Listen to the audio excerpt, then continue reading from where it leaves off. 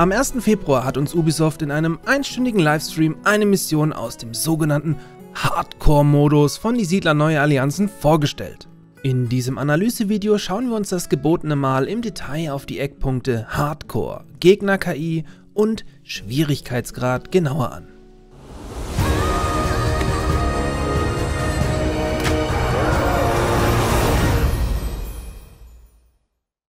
Wir durften erneut Christian Hagedorn über die Schulter schauen, der die Mission in Kürschen oder im Deutschen Einfall spielte. Hierbei soll es sich um eine mittelschwere Mission handeln, die ihr wahlweise alleine oder mit einem Freund gegen zwei verbündete KI-Gegner angehen könnt.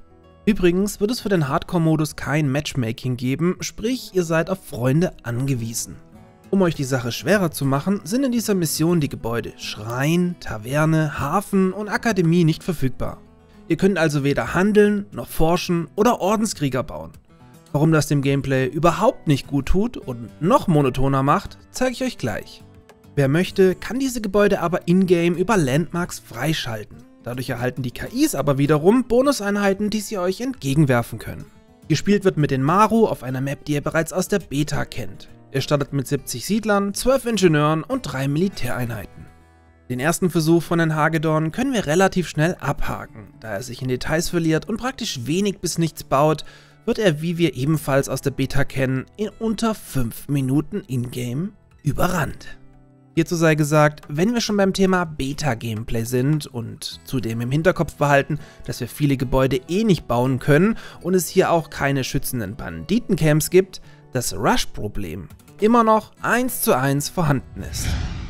Hätte er mal vorher lieber einen Energy wie den von Holy Energy getrunken. Ich trinke das wie ein Bekloppter mittlerweile täglich.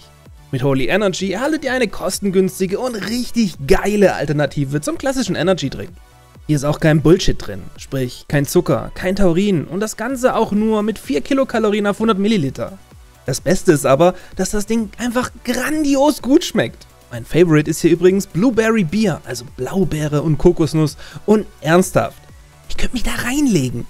Einfach Eiswürfel in einen Shaker, einen halben Liter Wasser dazu und einen Löffel Pulver. Shaken, fertig, geil. Wenn ihr da Bock drauf habt, empfehle ich euch das Probierpack mit 7 Geschmacksrichtungen. Mit meinem Code ZockerLaunch5 kostet das Ding euch dann auch nur schlappe 15 Euro. Und jetzt voller Energie zurück zur Siedleranalyse. Im zweiten Versuch beginnt unser Vorspieler direkt damit, am oberen und unteren Eingang zur Startposition jeweils einen Turm und eine Vogelscheuche zu bauen. Um das mal zu betonen, das war's eigentlich schon nach 10 Sekunden. Die strunzdummen KI-Gegner, die immer die gleiche Route laufen und immer mit den exakt gleichen Einheiten mit einer Mannstärke von 6 Stück anrücken, sind nicht in der Lage, diese beiden Türme zu knacken. Auch wenn im Stream versucht wird, uns diesen Fakt durch saudummes Gameplay zu kaschieren. Später läuft die KI zwar ab und an mal am Turm vorbei, das passiert aber eher zufällig als gewollt. Hätte man doch hier einfach einen zweiten Abwehrturm dazugestellt, was problemlos möglich gewesen wäre, wäre aber definitiv komplett Ruhe gewesen.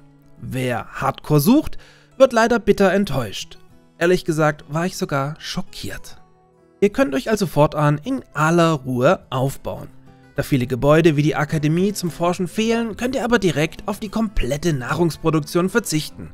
Ein, zwei Fischer boosten immer in eurer Holz- und Steinproduktion.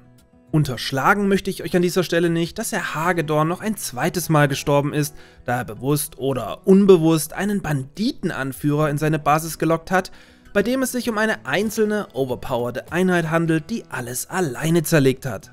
Da ihr aber an diesem Anführer problemlos vorbeilaufen könnt, das nur mal als Randnotiz. Da ihr die Berge oben und rechts erreichen müsst, um Truppen zu produzieren, müsst ihr euer Land ein bisschen erweitern. Hierzu zieht ihr eure Abwehrtürme einfach etwas weiter nach vorne und habt auch fortan Ruhe.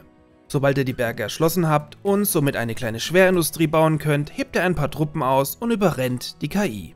Hierzu zeigt uns Christian Hagedorn dann eindrucksvoll, wie dumm die KI ist. Denn im Gegensatz zu KI, die sich mit einem Abwehrturm aufreiben lässt, läuft er mit seinen Truppen einfach vorbei. Da die KI alle Truppen für den Angriff verwendet, also immer sechs Truppen, die dann sofort den immer gleichen Weg laufen, hat sie selbst hinter ihren eigenen Türmen nichts mehr, um sich zu verteidigen. Die belanglose und nicht spannende Mission ist also schon gewonnen und lässt uns ratlos zurück, was da jetzt eigentlich genau Hardcore gewesen sein soll.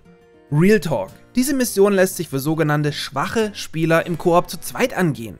Wo ist hier der Anspruch? Wem soll das eigentlich Spaß machen? Was soll da Hardcore sein, wenn man nebenher noch locker seine Steuererklärung machen kann? Ich hoffe, also wirklich, dass das nur ein saudummes Beispiel war und die anderen Modi wie Handeln oder Rush-Missionen, ja, die gibt's ironischerweise wirklich, mehr zu bieten haben. Wahnsinn! Ubisoft!